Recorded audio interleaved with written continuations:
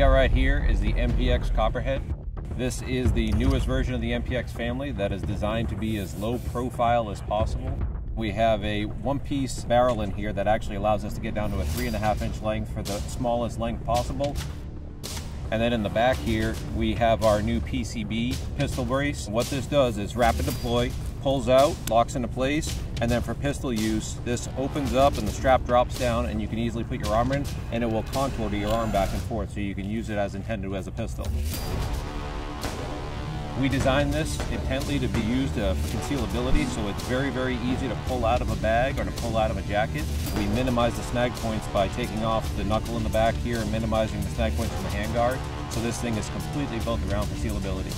For the end user is somebody who wants a 9mm that has a pistol platform and wants to be able to have something they can put into a bag, be able to take it with you. This is the perfect gun for that.